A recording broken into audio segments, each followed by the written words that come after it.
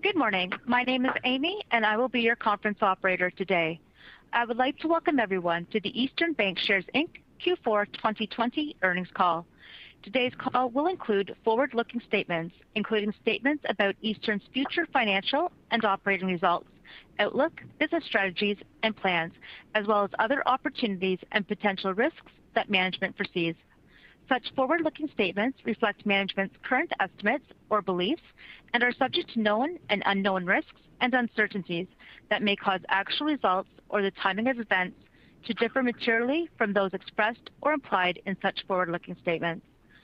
Listeners are referred to the disclosures set forth under the caption Forward-Looking Statements in the earnings press release, as well as the risk factors and other disclosures contained in the company's recent filings with the Securities and Exchange Commission for more information about such risks and uncertainties.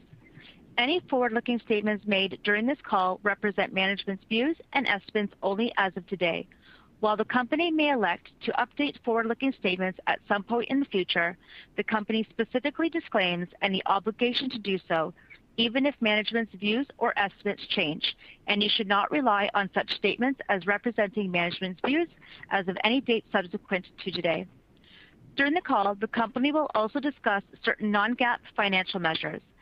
For a reconciliation of such non-GAAP financial measures to the comparable GAAP measures, please refer to the company's earnings release, which can be found at investor.easternbank.com.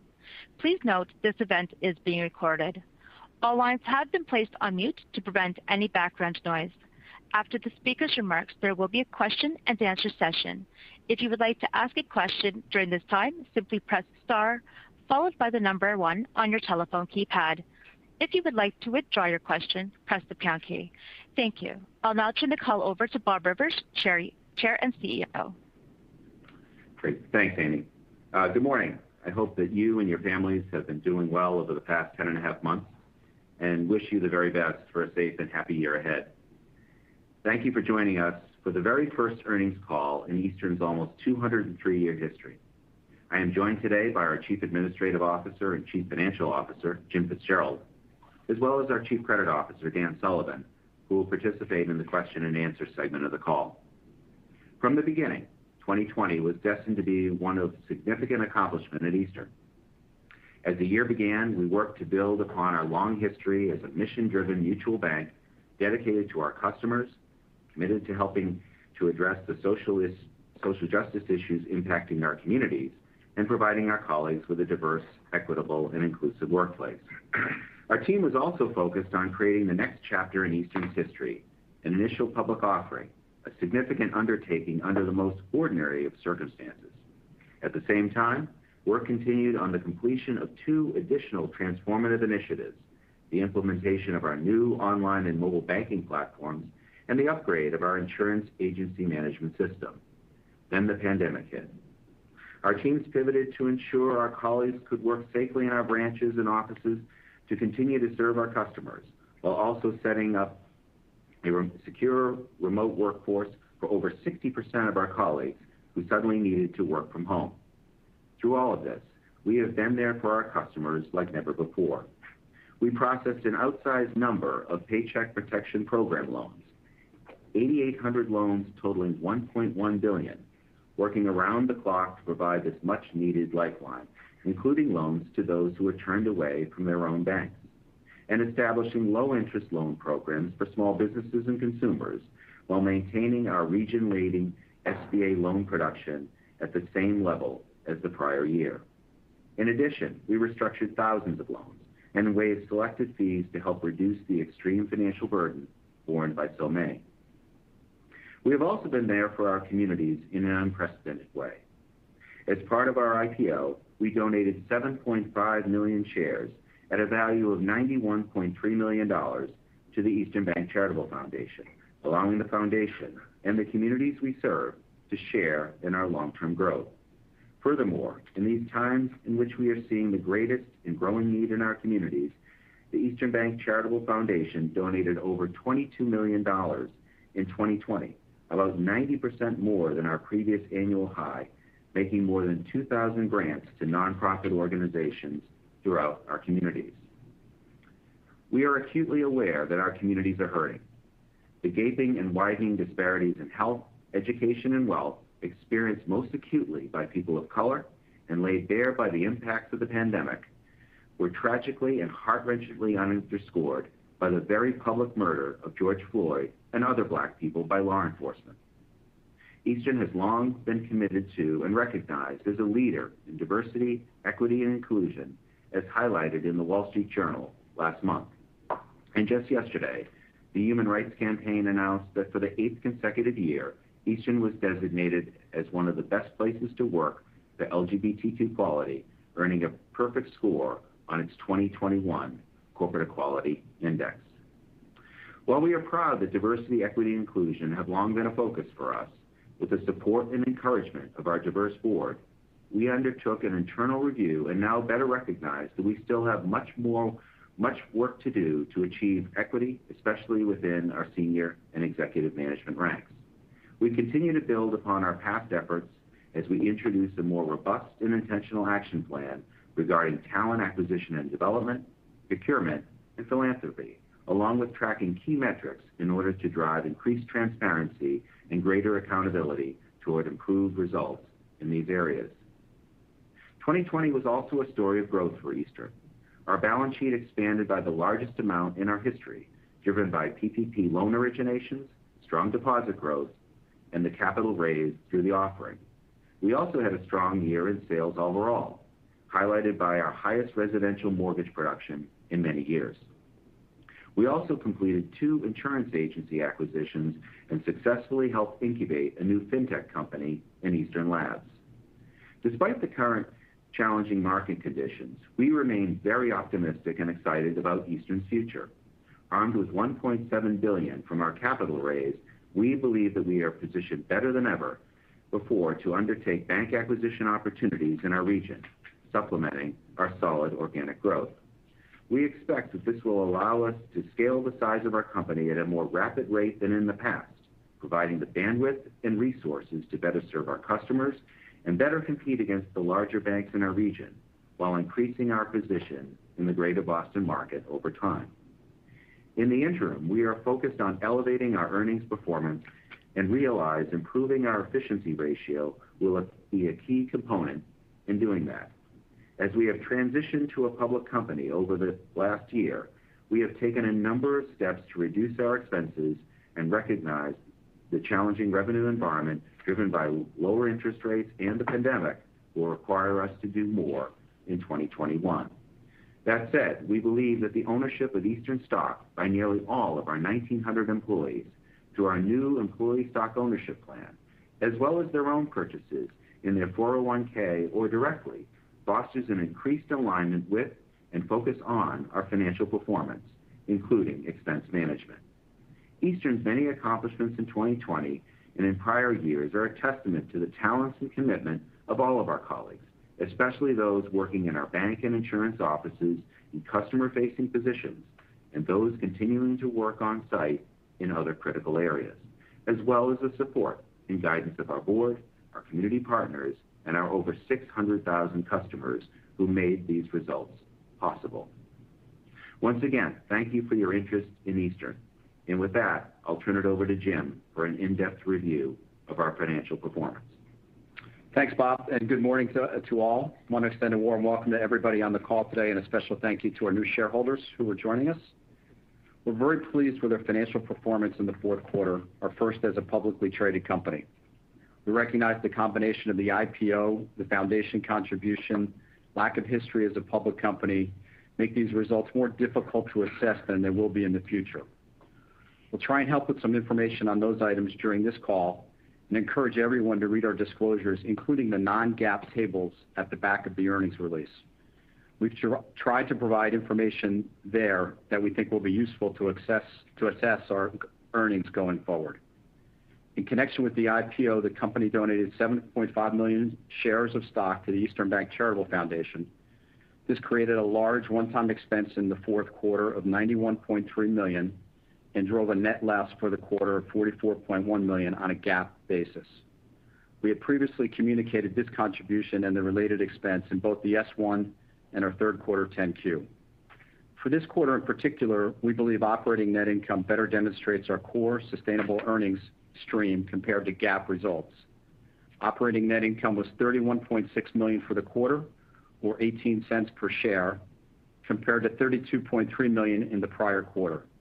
There is good detail, especially in the non-GAAP reconciliation tables in Appendix A, that indicate how we derive net operating income.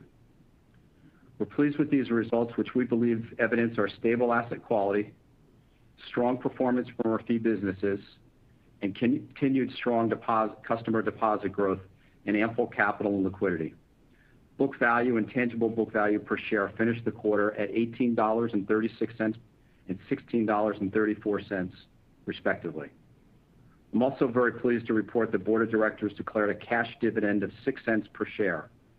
The initiation of this regular quarterly dividend is part of the company's capital management program. We believe the company's strong financial position and our history of generating strong cash flows will allow us to both invest in the company and return capital to shareholders.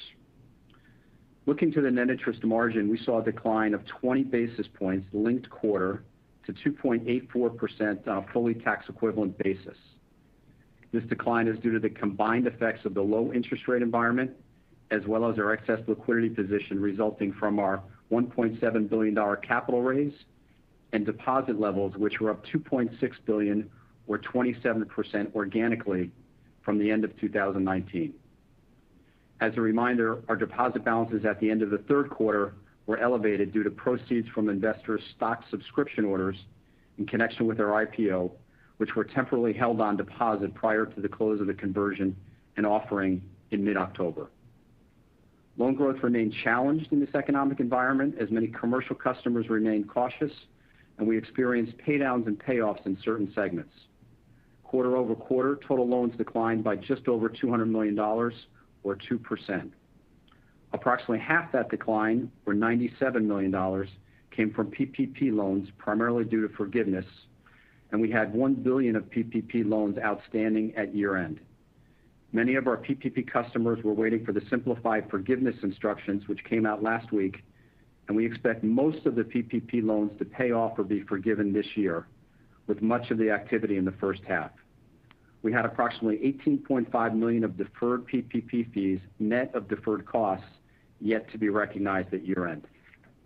Our securities portfolio grew $1 billion over the fourth quarter as some of our excess liquidity was deployed into agency securities for incremental yield.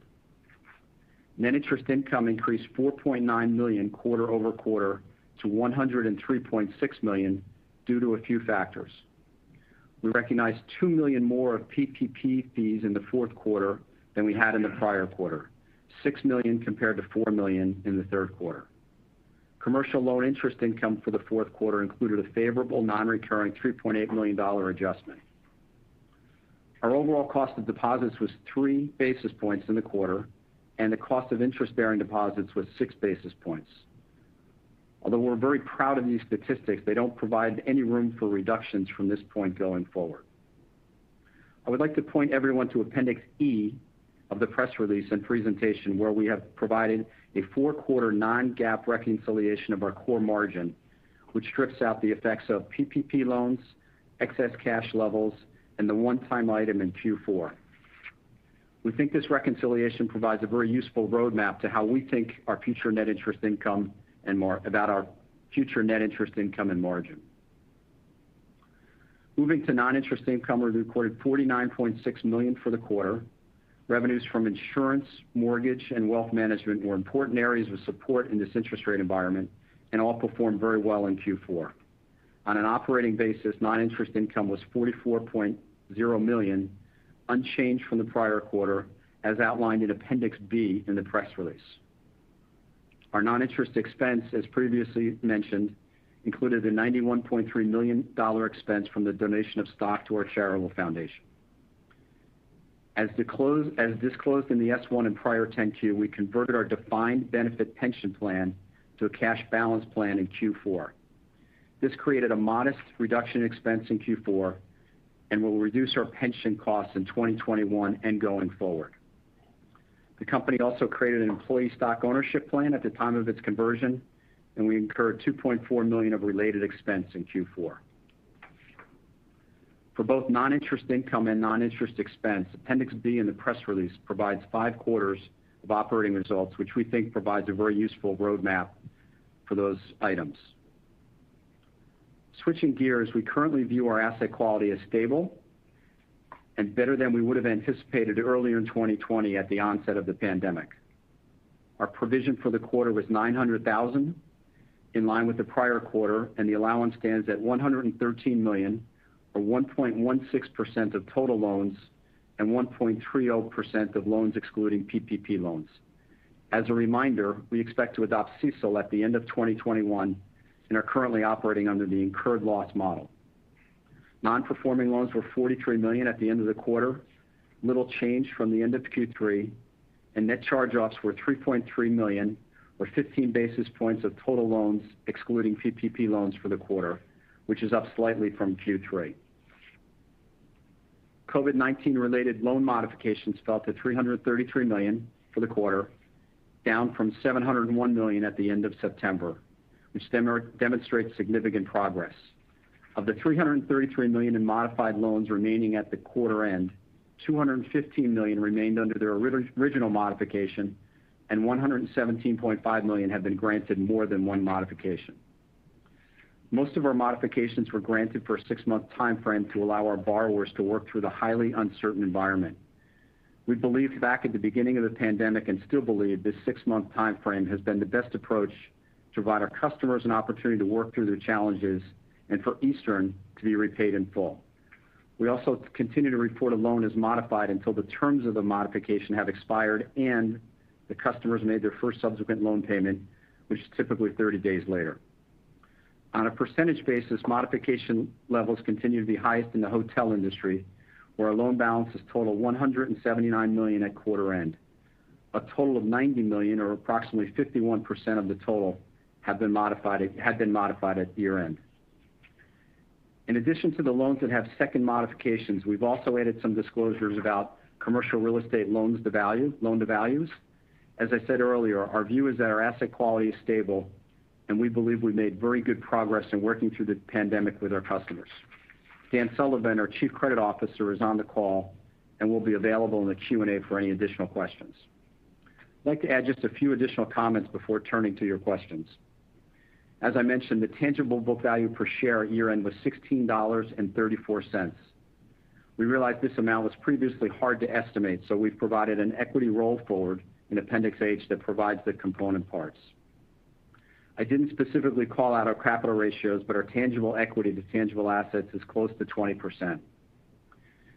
I mentioned earlier that loan growth was challenging in Q4, with balances excluding PPP loans down 1%.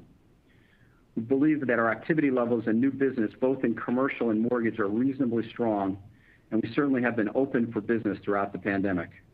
Our commercial pipeline was over $400 million at year-end, and while we expect paydowns and prepayments to continue, we expect growth to return to the commercial portfolio this year at a modest pace until the vaccine and potential economic recovery take hold, which we expect to be late in the year. Given our liquidity position, we're looking to add more residential mortgages to the portfolio than we did in the last few years. That said, prepayments in the portfolio are high, and we expect a very modest growth rate in 2021. We haven't focused much on our technology or digital investments on this call or the earnings release, but we continue to be very pleased with the increased usage of our digital channels by our customers, as well as the products that we're providing and our overall technology capabilities. We would expect to spend more time on this in the future as it's an important part of our story and our future. As Bob mentioned, as a new public company, we know that we need to lower our expenses and improve our efficiency ratio. This transition will take some time, but the pension change I mentioned previously is an example of the type of changes we are expecting to undertake. As we disclosed in Appendix B, our operating non-interest expenses were between $100 million and $102 million in the third and fourth quarters. We would expect our annualized expense in 2021 to be 2-3 percentage points below that annualized amount. This assumes we're in the same general operating environment we're in today, and there's been no structural changes to our business. We expect our effective tax rate to be in the range of 22%-23%. This concludes my comments, and we're very happy to take your questions. Thank you. At this time, we will be taking our Q&A questions. I would like to remind everyone, in order to ask a question, please press star, then the number one on your telephone keypad. We'll pause for just a moment to compile the Q&A roster. Your first question comes from the line of Damon DelMonte with KBW. Damon, your line is open. Hey, good morning, everyone. Hope everyone's doing well today. Um, thanks for taking my question. So my first question, um, just wanted to ask a little bit about the margin outlook, um, and kind of the direction that you see the core margin moving over the next couple of quarters, Jim, especially as you guys become fully vested with the uh, liquidity on the balance sheet. Sure. Damon, first of all, good morning. Thanks for joining us, and uh, uh, appreciate your question. First place I'd direct you is to that non-GAAP reconciliation that I referenced in my comments. Really, what we tried to do there was strip out PPP loans, excess liquidity, et cetera, and give you how we, how you know, what we view the margin, the core margin to be. Um, I think going forward, and I think that gives you a good baseline for the existing, uh, our existing expectations. Obviously, going forward, um, we see that the PPP, the deferred fees of PPP from last year's PPP loans that I mentioned, which is $18.5 million. We do expect most of that to come in the first half of this year or certainly in 2021. We are incrementally investing uh, in the securities transferring from cash to securities at about a $350 million a month pace. The thing I'd caution there is yields continue to be very compressed in the areas that we're investing. You know, their reinvestment yields, their investment yields are somewhere between 75 and 80 basis points. Feels like we're competing with the Fed, quite honestly, uh, in the sectors where we're buying. So although we do see enhancement from that, we do think it's a very tough environment, and we've, as we've said in the past, we're going to take a pretty measured approach there. Got it. Okay, that's good color. Thank you. Um, and then with respect to uh, one of the last comments you made about expenses, um, I just want to make sure I understood this correctly. So you said third and fourth quarter, uh, $100 million-$102 million, and you said if you, you know, you expect about 2%-3% below that for full year 2021. So if you annualize that at, you know, call it a little bit over 400 million, kind of haircut that by 2 or 3% for the full year. Is that right? Correct. Okay, great. And then just lastly, you know, on the dividend, nice to see that you guys established that. Just wondering what your thoughts are. Is that going to be something that's evaluated uh, annually, or just given the strong capital position, you know, once you get a couple quarters under your belt, do you feel you have capacity to maybe increase that uh, on a non-annual basis and maybe on a semi-annual basis? You know, that's a conversation we'll have with our board, Damon. It's a good point. I think, you know, our priorities coming into this were to get it initiated and have the payout ratio be what we think is a reasonable level. I think going forward, we'll definitely review that with our board. Um, nothing more to really say at this time. I think, you know, we're still trying to get uh, sort of our legs under us as a public company, and uh, you know, we'll take that up with the board at the appropriate time, but uh, I wouldn't expect that for a couple of quarters at a minimum. Great. Thank you very much for taking my questions. Thanks, Damon. Your next question comes from the line of Janet Lee with JPMorgan. Janet, your line is open. Good morning, everyone. Um, the first question I have is on capital. Obviously, some of some of that you deployed into securities in the quarter, but um, you're still sitting on a ton of capital. And we know that you have um, aspiration to get much bigger, and M&A is one primary way to deploy that.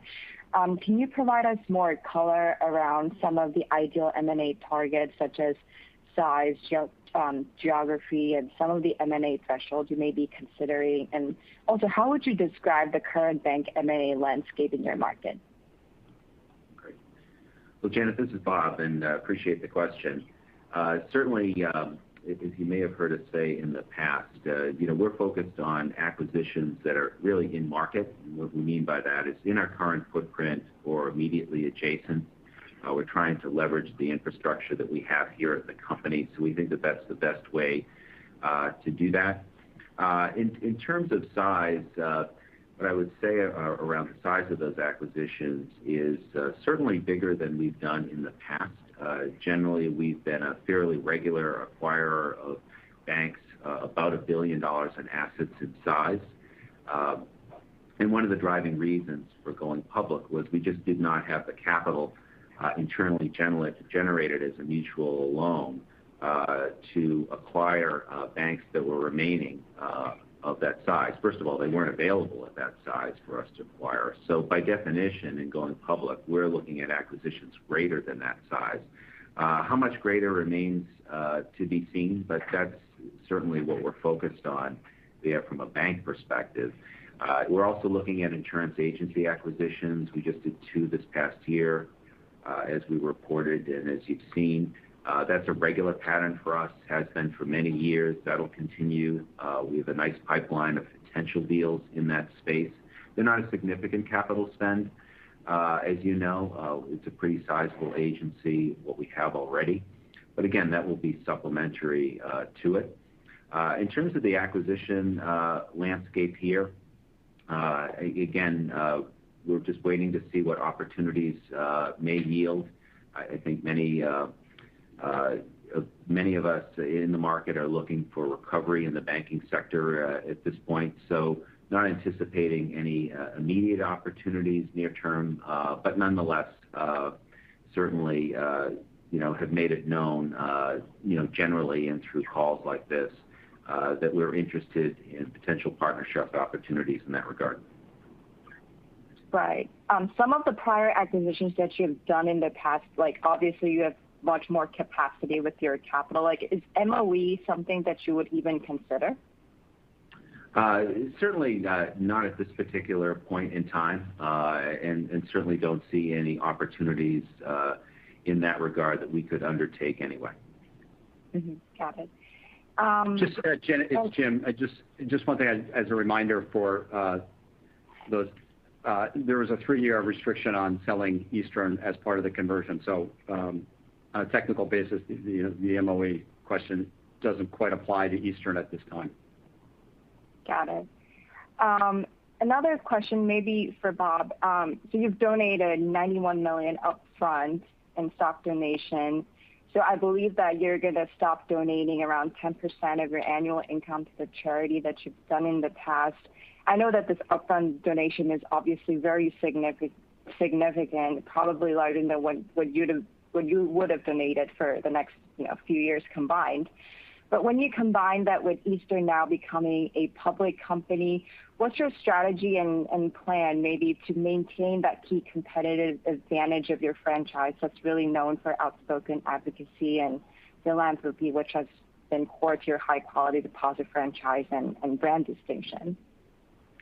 Sure. Well, we think the uh, distribution that we've made uh, into the foundation as a result of the offering uh, puts us at a much higher level than we would have been able to do on our own. Uh, and it was something that our board was very sensitive to and something that um, we made sure that this initial contribution, this contribution from um, the offering, would essentially exceed anything that we could do in the future. For example, if we had continued to donate 10% of our net income charity, and a big part of that was a contribution to the foundation, uh, we would not have been anywhere near uh, the levels uh, for as long as we could see in the foundation. We've already elevated the foundation to a level that we could never get to certainly uh many, many for many, many years over time. So we think we've stocked the foundation with the resources to support our community engagement efforts at a much higher level Uh, really indefinitely. And most of the uh, grants that we've had come out to the marketplace are really a distribution from the foundation. Uh, we distribute at least 5% of the assets of the foundation in the form of grants every year. Obviously, those total assets are much higher than they were before. Uh so really that primary fuel for community grants, again, has been ensured regardless of how much we may continue to contribute to the foundation in the future, which will be a lot lower. Uh, a lot of our 10% of net income to charity, about 2.5 million or so every year, comes in the form of sponsorships to nonprofit organizations. Those are always expensed in current year. Uh, those uh, we plan to continue in that basis. But really contributions to the foundation Uh, will be uh, you know, much more muted than they were in the past. Uh, really very, very low, again, because of this contribution that we've just made through the foundation. So, in short, we'll be able to continue to be um, the same sort of advocate that we've been in the past, and I would argue even greater. Right. Right, that makes sense. And if I can squeeze just one more question. So um, besides the pension change, do you have any other efficiency initiatives you're planning to execute to maybe eventually come come down closer to the peer level on the efficiency ratio? And maybe if you can talk about sort of a level of efficiency ratio that you're targeting as you look out into 2021. Thanks. Sure. Uh, Janet, it's Jim. Uh, I'm just going to jump in on that one. I think a few things. Uh, What we've tried to say very clearly is we understand that we need to lower our expenses over time. We've got a very successful company here, and we're going to do that in a very appropriate way. It is going to take some time. Uh, we are looking at a number of things and have been. Uh, nothing to report at this point. It's very difficult for us to uh, talk much more than that, but we're very conscious of it. I think, as I said, I think the pension plan was really something we had started a while ago, and as a step in that direction, there will be uh, more actions over time. One last technical thing. I just wanted to um, make sure there wasn't a misconception. The uh, charitable contributions that Bob mentioned in his remarks a second ago would be included in the expense guidance I gave earlier. Those would have been factored into the numbers I gave you. Your next question comes from the line of Laurie Hunsicker with Compass Point. Laurie, your line is open. Hi. Thanks. Good morning. Um, um, a very exciting time. I just want to say congratulations and um, really appreciate the details in the deck and the earnings release. Um and if we could if we could just stay on expenses, and appreciate the guide there. As we look further out into 2022, assuming you, you know, a year from now, your your benefit plan is in place, so that's you know, maybe round numbers adding 20 million annually. Jim, can you help us think a little bit about how you potentially mitigate that expense or how we should think about modeling that in? Thanks. Sure. Laurie, here's here's what I would say on that. And just you are uh, you know a lot here. I'm just going to give a little bit of background for those who may not have the benefit of your experience. The benefit plans need shareholder approval. We would anticipate doing that probably very late this year. Uh and You'd start to see the expense in 2022. I think what we would say on that is we're it's something we're working through. Um, we understand uh, the need to uh, look at our total compensation and figure out what the appropriate levels are. That's uh, Eastern management and our board. Uh, we're very up to doing that, very eager to take that on. We really don't anticipate studying that. As, uh, you know, we're studying that more, but it's really the second half of this year. As we get closer, we'll give more uh, commentary on that or give you our views on that. At this point, it's hard to say anything other than we see it coming. We know what we need to do, and we're in the process of studying it. And we'll report out at the appropriate time. Maybe this is this is jumping ahead a little bit, but can you just comment broadly on your thoughts, um, Bob and Jim, on branch rationalization and your approach there? We're certainly seeing regional banks across the country close branches. How how are you thinking about that currently? Yeah, no, certainly it's something that we continue to look at. Um, Uh, in general, we think our branch franchise is pretty efficient. Uh, and when we and we've made a number of consolidations of branches over the past many years. In fact, at a rate that's uh, typically higher than others in our marketplace in the past. Certainly, though, the accelerated use of digital channels in the midst of the pandemic is a game changer here and something that, Uh, again, within that context, continue to uh, look at our overall physical network in terms of branch size, number of branches, locations, et cetera. Um, but at this point, don't see any major uh, restructuring that we need to do to the branch network. Again, we think it's overall pretty efficient. Uh but as always and in all things, uh there are there are ways that we can continue to make improvement in that.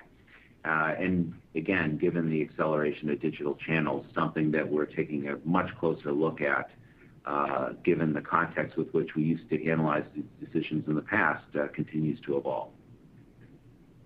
Okay, great. Thanks. And then uh just, um, Bob, wondered if you could just kind of refresh us regarding sort of a three-pronged thinking about capital management. Obviously, saw you start the dividend. That's great.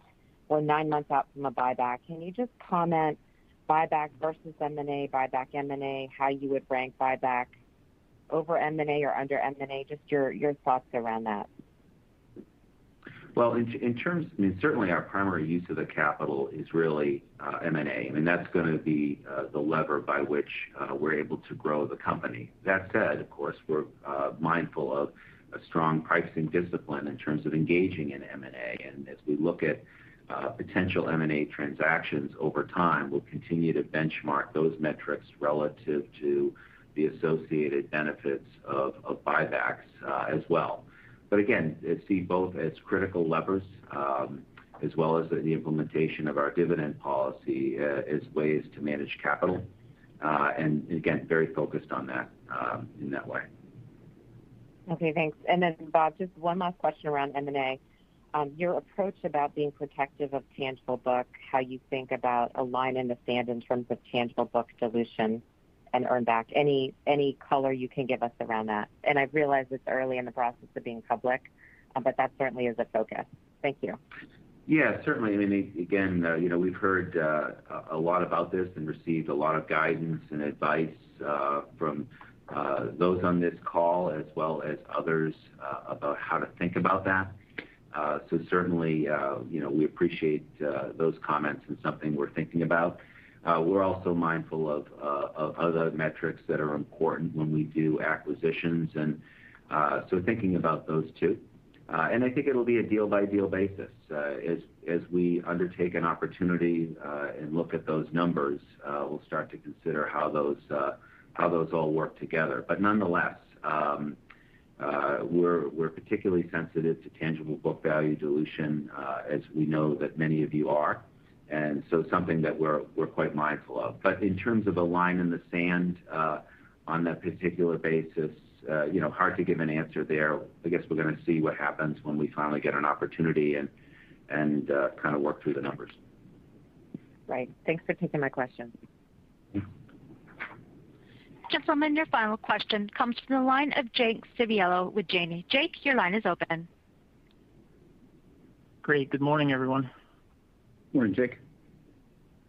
I know you said in your prepared remarks that it's safe to assume that most PPP forgiveness fees will be recognized in the first half of 2021. Do you have an update on new PPP originations and how much you ultimately might book in round two, or if you're participating in round two? Actually, sure, Jake. We may uh, double or triple team you here. I think uh, just at a high level, we're definitely participating in round two. Uh, we felt very good about our performance a year ago in round one and view the PPP process as a great customer uh great thing for our customers and for Eastern. Um, I think the early read we've got is that activity is a little is definitely slower than last year. Coming into this, we thought we would have been at a percentage basis of last year, maybe 50. I think uh, it's very, very early. Uh, it's a little bit slower than that would be my uh would be my response. Uh, Dan Sullivan is with me, may add more. Good morning, and thank you. You last year or in spring of last year, we did approximately 8,800 loans for 1.1 billion. I think you found that in the materials. To date, this year in this round, we've received 3,000 applications totaling about $350 million. Right. And again, it's very early there, so we're trying not to over-interpret that, but uh, that's what we've got to date. Again, it's very early. No, I understand. That but that helps me in terms of thinking about it in terms of the starting point. So thank you. Um, In terms of deposits, do you have an estimate for how much of the non-interest bearing um, decline in the quarter was from the conversion subscription dynamics? What I'm trying to understand is if there was core growth in non-interest bearing in the quarter, similar to what you saw in uh, savings and interest-bearing checking. Um, it's we we don't have I don't have that right here, Jake, so I'm not really gonna be able to answer it. I think, you know, Uh, what we experienced last year, and I recognize your question, which is a good one, which is it's hard because of the third quarter blip because of the conversion. We saw the heavy increase in deposits the first half of the year. We believe most of those have stuck, uh, and the transitions in and out were because of the of the conversion and the subscription offering. Uh, but I don't have a specific answer to your question. Okay. Maybe I'll follow up later. Sure. Ladies and gentlemen, this concludes today's conference call. On behalf of Eastern Bankshares, thank you for your participation. You may now disconnect.